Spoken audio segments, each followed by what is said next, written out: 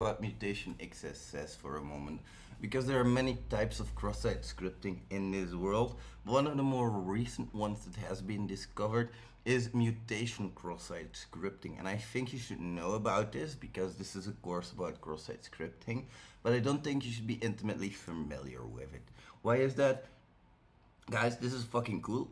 This is batshit crazy, literally batshit crazy that this exists but mutation XSS in reality, a lot of the bug bounties that are found are basic, basic cross-site scriptings and definitely not mutation.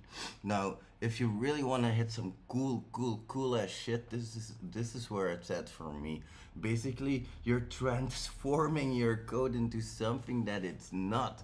We're executing your code through some kind of like there there are some issues with the HTML parser and the DOM's inner HTML if you assign things to a specific HTML uh, tag template tag uh, there well we'll get more into it but when you feed it a broken attack vector it might fix it for you. This happens due to some quirks in the HTML parser and how browsers interpret that. Why is that? Because when you and I open a website when a browser makes a when a browser developer makes a browser, they have to interpret the RFC for web, for basically HTML hypertext markup language. And that RFC is filled, filled, filled with ambiguities.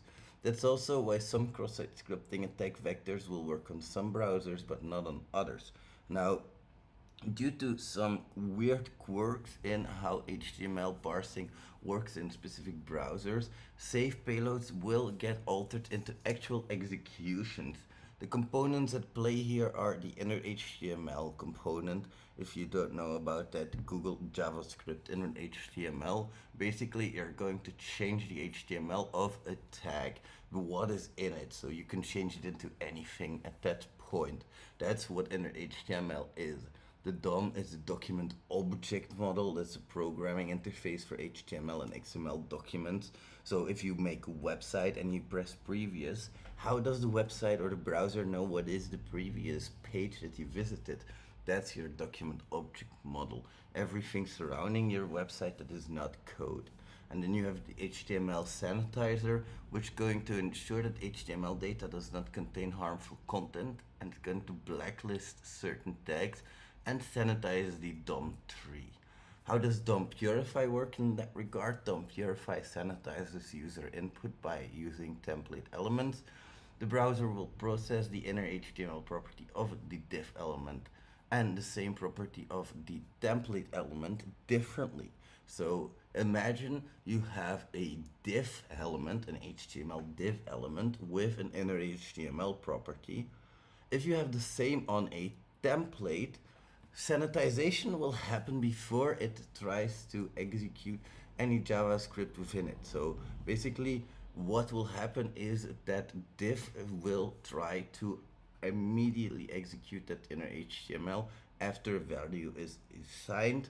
No sanitization there. The template, it will sanitize it in.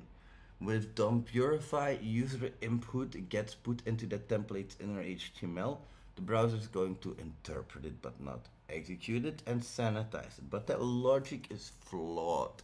Now, how does the browser interpret invalid HTML? At the top there, you'll see some invalid HTML and that'll be corrected into this. So if we, sorry, if we go back here, you'll see div script, or at least this is valid, I should say. Here you see the invalid part. But this is how the browser will interpret this right here. So you have a script titled div. It will do script uh, script title slash div and it'll add your slash script here. That is basically trying to fix it.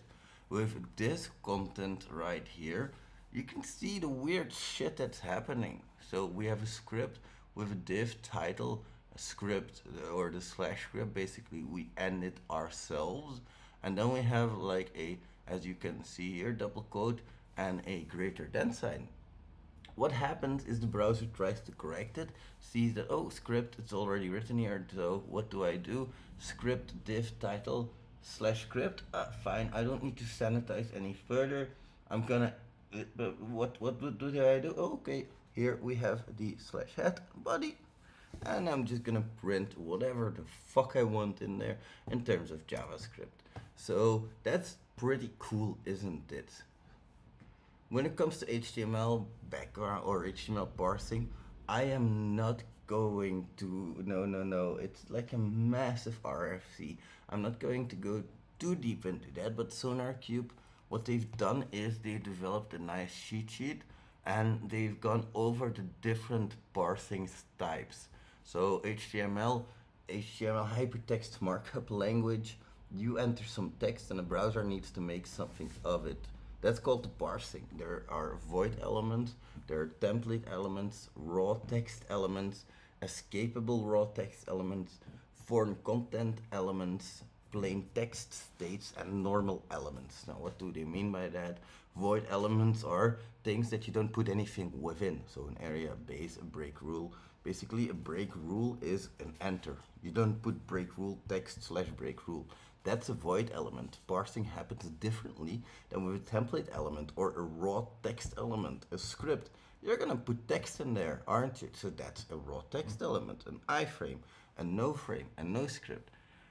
Same for the escapable raw text element, foreign content element, the SVG, the MOV, plain text state, etc., etc. All of these different elements are interpreted differently.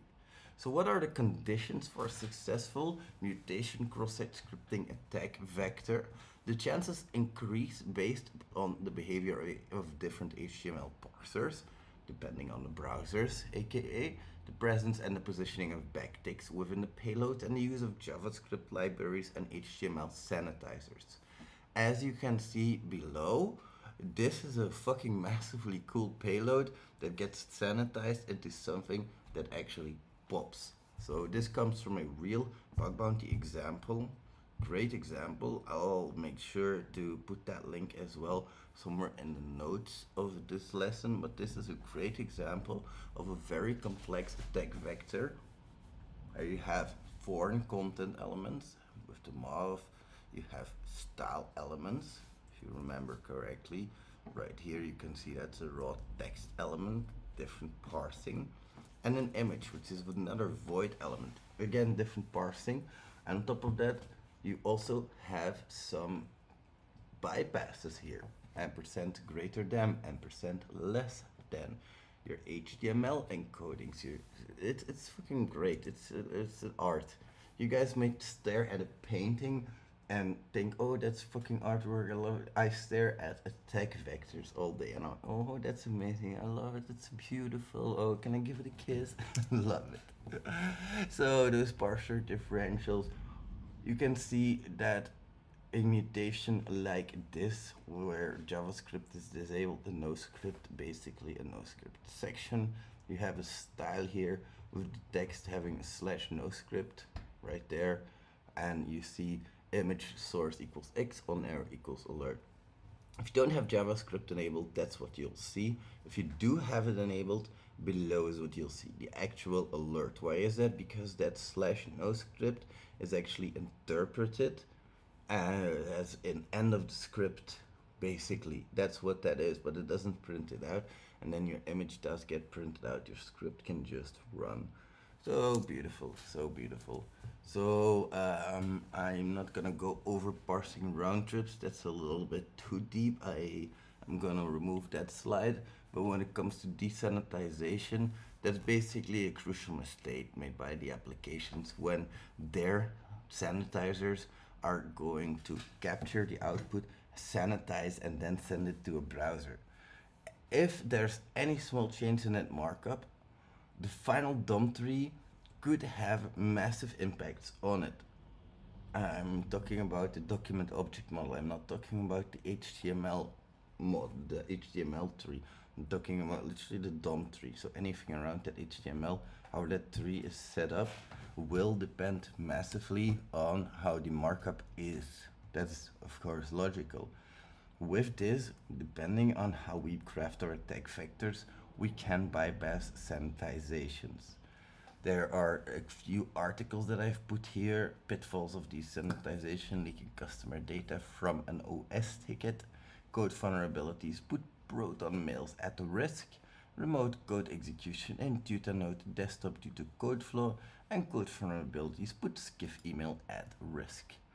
Here are also a few case studies with one from SonarQube, a reply to calc, oh, sorry about that, reply to calc uh, the attack chain to compromise Mailspring, and there's a CVE included for your convenience and leisure.